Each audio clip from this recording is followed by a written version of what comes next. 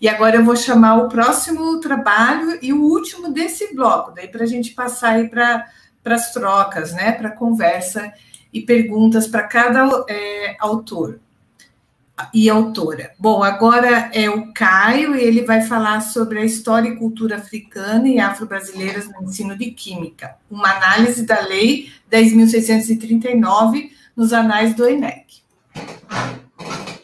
Olá, boa tarde a todos. É, feliz dia dos professores, para quem, para nós que somos professores.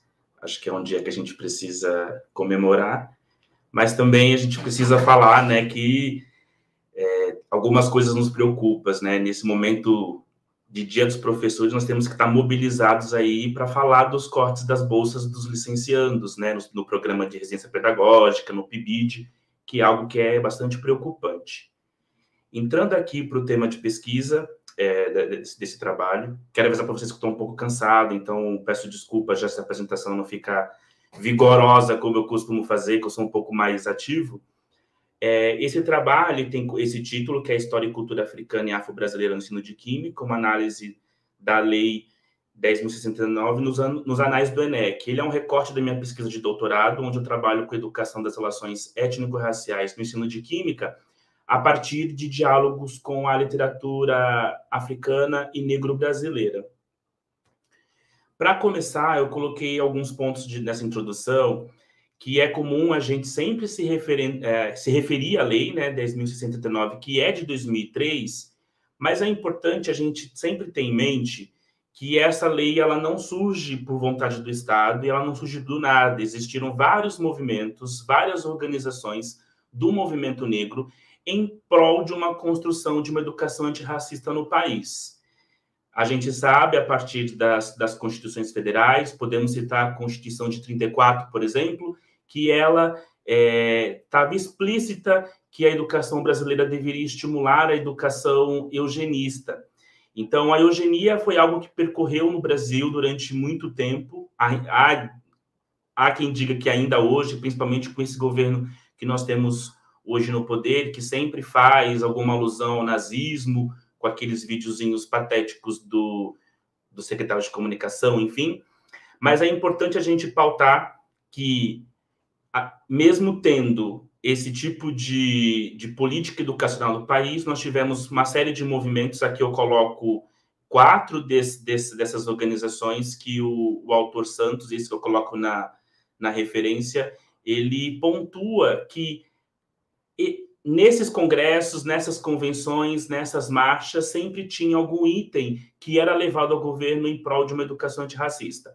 Uma outra referência importante nesse sentido é o livro da professora Nilma Lino Gomes, que já foi ministra, que já foi reitora, da, hoje ela é professora da, da, da, UFMG, hoje não, desculpa, faz tempo, mas ela foi reitora da Unilab, que também falam, é, tem como título o Movimento Negro Educador. Então, tendo esse panorama de, de, de, entendimento que a luta, a luta antirracista ela não surge com a Lei 10.639, mas ela é, é ela é resultado de, de diversas, é, de diversos movimentos é, políticos, sociais, da, do, dos movimentos negros, nós chegamos nessa, nessa lei que foi implementada em 2003, que foi assinada em 2003, e muito em breve nós vamos ter aí 20 anos dessa obrigatoriedade de inserção de história e cultura africana e afro-brasileira em todas as disciplinas. Então, nesse trabalho, é, é eu, eu tentei é, buscar como que esse tema entra nos anais, na, nas pesquisas publicadas nos anais do ENEC. Então, eu tomei como recorte temporal o ano de 2003, porque era o ano da lei, então começa do 2004, foi até o último ENEC, que aconteceu este ano, mas é ENEC de 2020. Eu, para localizar os trabalhos, utilizei alguns termos indutores, como é, é, África, africano, negro. É importante mencionar que, que a lei de 2003 tem uma nova alteração. de dois, As duas leis, na verdade, a de 2003 e a de 2008, alteram a LDB. Então, a de 2003 ela, come, ela pauta a questão africana e afro-brasileira, e a de 2008 ela vai pautar a questão indígena. No meu trabalho, eu não pautei as questões indígenas, eu só estou pautando a questão de, de africana e afro-brasileira. Então, após, após a busca nos anais, é, fazer o recorte temporal e, e, por alguns termos indutores, eu tabelei os dados e eu é, separei por algumas, por algumas categorias, digamos assim. Podemos pensar como variáveis, né? Linha temática, autoria, instituição autora, tipo de publicação e o ano de publicação. O que eu vou apresentar para vocês aqui de resultados são algumas, alguns dos gráficos que aparecem no, no trabalho completo, que depois vocês podem ter acesso. É, esse primeiro gráfico mostra a distribuição desses trabalhos. Ao todo, eu encontrei 42 trabalhos de 2004 a 2020, sendo que no ano de 2004 e 2006, nenhum trabalho é, é, foi localizado a partir dos termos indutores que eu, que eu, que eu busquei. A gente já vê aí no gráfico que 2008, 2010 e 2012 nós tivemos uma, uma presença tímida, e 2014 também é tímida, mas a partir de 2016 a gente começa a ter de 10 para mais trabalhos apresentados nos anais do ENEC. É, quando eu penso na distribuição, na distribuição por instituições de ensino superior, eu estou querendo saber quais são as instituições que estão produzindo pesquisas no campo e que estão publicizando essas pesquisas. E aqui, claro, né, estou pautando sempre o, o, o, Encontro Nacional de Ensino de Química.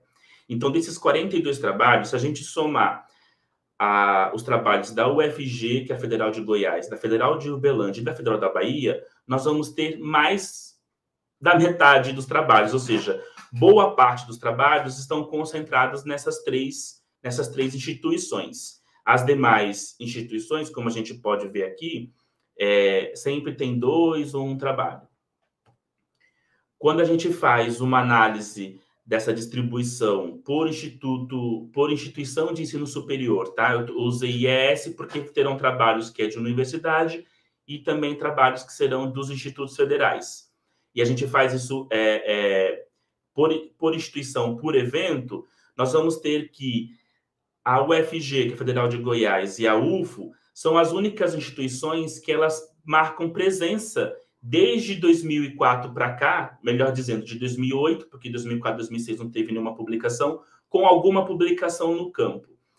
A UFBA, ela cresce a partir do Congresso de 2018 e as demais instituições têm aí essa, essa participação um pouco mais tímida, digamos assim. Mas eu decidi fazer algo que eu achei interessante, que foi pensar nessas. Tudo bem, nós sabemos que são é, é, 42 trabalhos em 14 instituições, mas eu quis pensar em termos de Brasil. Afinal de contas, é uma lei federal e essa lei ela coloca obrigatoriedade, né? Então, assim, como está a formação de professores? Nós sabemos que são instituições públicas que produzem pesquisa, então dá para a gente pensar nesse paralelo. Então, das 14 instituições, ela, é, elas são de 10 estados, e a gente observa nesse mapa que boa parte dos estados, a maioria dos estados, elas, eles não têm produção no ENEC sobre pesquisa em história e cultura africana e afro-brasileira no ensino de química. Quando a gente também pensa nessa distribuição a partir da linha temática do ENEC, né, quando, quando a gente se inscreve aqui, como nós nos inscrevemos aqui no, no EPPEC, nós temos que escolher uma linha temática, né? A gente observou que um pouco mais de 50% estão na área de DI, que é diversidade e inclusão, mas um ponto positivo é que a gente consegue encontrar os trabalhos de história e cultura africana e afro-brasileira também nas outras linhas nas outras linhas temáticas, como história, filosofia e sociologia, ensino-aprendizagem, CTS, educação ambiental, formação de professor e materiais didáticos. Neste gráfico que eu mostro para vocês é a distribuição das publicações por linha temática e por instituição de ensino superior. Aqui, o que eu gostaria de, de de identificar, de, de pontuar, é o fato da UFG, todos os trabalhos da UFG sempre estão na linha temática que é DI, que é diversidade e inclusão. Isso está relacionado com, a, com o laboratório de pesquisa que existe lá, que é o Laboratório de Pesquisas em Química e Inclusão, coordenado pela professora, pela professora Ana Benite, e isso resulta nesse, nessa, nesse dado que eu encontro. Já na Federal de Uberlândia, a gente consegue ver uma maior dispersão, porque na Federal de Uberlândia nós temos vários professores que trabalham com essa linha de pesquisa história e cultura africana.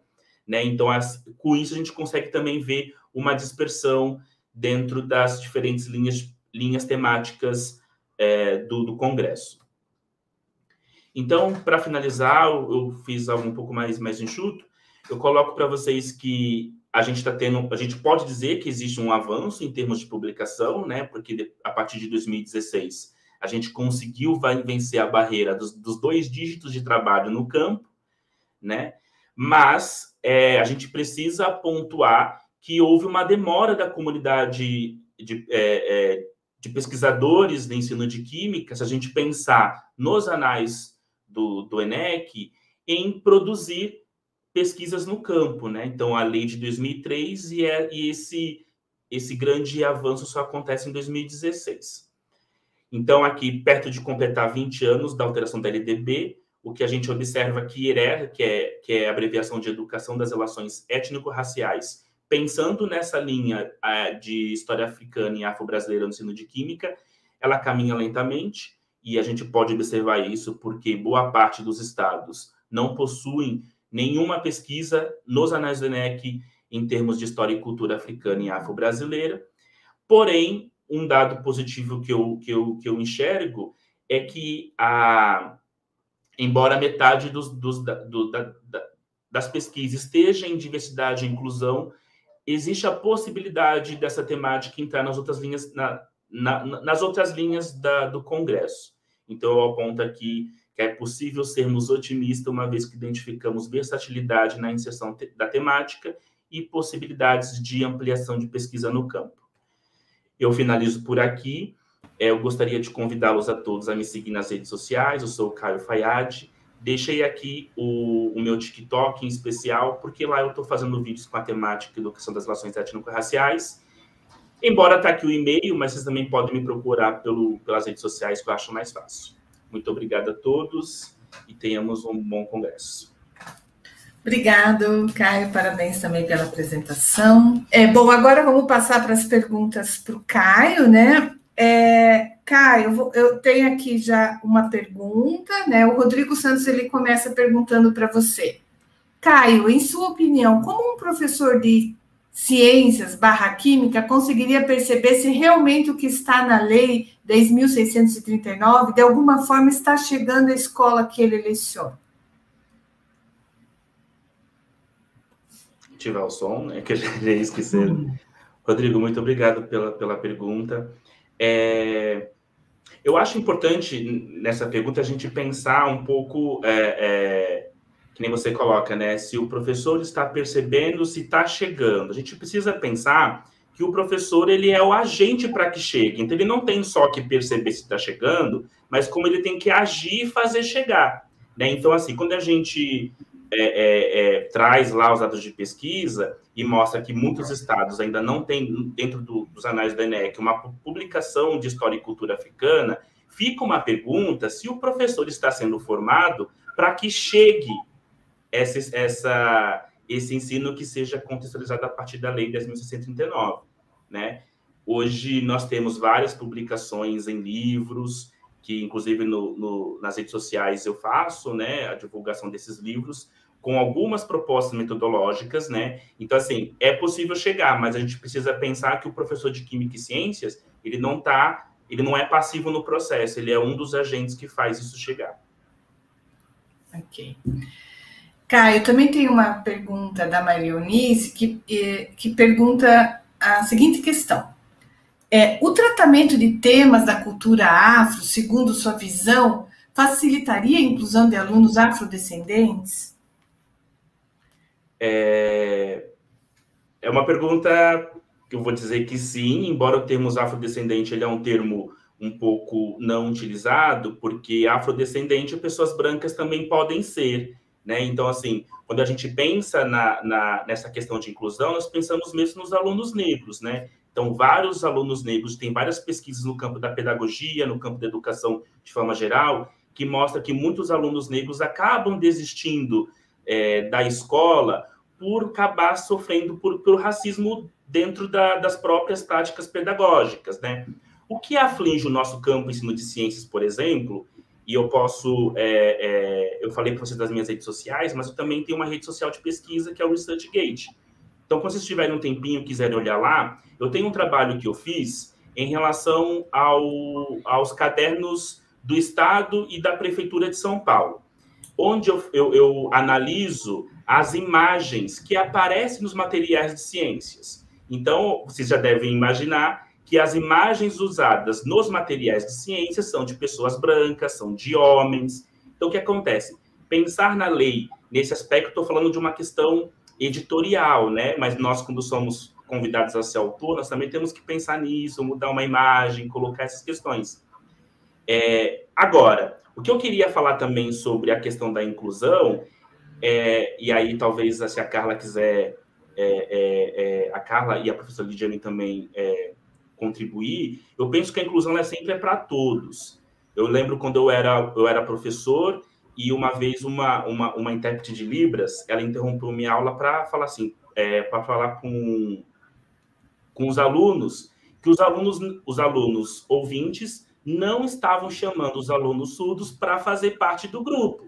Ou seja, aquilo ali para mim foi algo bastante significativo que me deu, olha, a inclusão é para todos essa mudança, educação antirracista, no caso, agora voltar para o meu tema, ela é para todos. Ela é para que um aluno negro permaneça na escola, consiga concluir os estudos, mas é também para alunos brancos, que alunos brancos consigam perceber que há produção intelectual de negros, que há, sim, é, processos científicos e tecnológicos que foram construídos por pessoas negras. Eu falo muito, acho que eu sintetizei um pouquinho.